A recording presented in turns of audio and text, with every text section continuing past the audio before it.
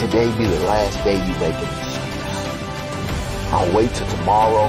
I can't do this. I can't do that. People don't believe in me. I don't believe in myself. That may be you today. But today is the last day you stop complaining. Take no thoughts that are negative. I want to win. I want to be somebody. I want to separate. And the way I do that isn't with my giftedness. Because I wasn't born with a bunch of gifts. And I think gifts are crap. Man, I don't have that natural beauty or that natural talent or this gift for creativity or intellect or humor. I don't have any of those things. But what I got is I will outwork you. Whatever it is, I always do one more. And what that does is it makes me eventually think I'm doing things other people aren't willing to do, so I should get things other people aren't going to get.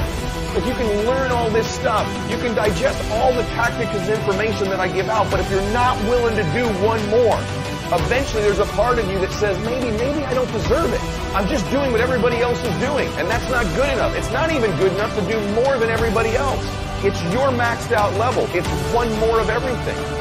Be aggressive. Take action now. And what is the first action that you need to take? What's the first step you need to take? The first step you need to take is just that step. You got to be prepared. You've got to train. You've got to study. You've got to rehearse. You've got to remain vigilant.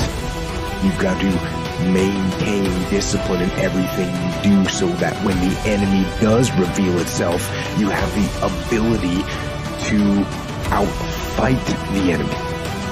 Don't quit. Don't quit. Don't you quit on you. Don't allow yourself to fall into this trap of believing that you are what you're going through.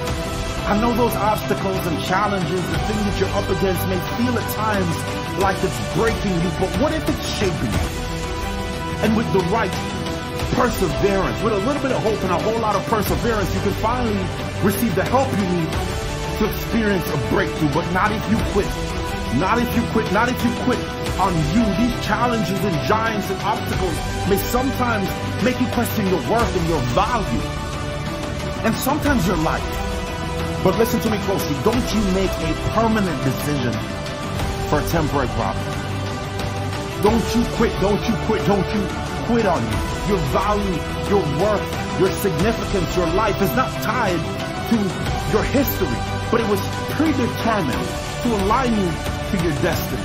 But you'll never truly turn your obstacle into opportunity, your barrenness into breakthrough, your problem into purpose if you quit on it.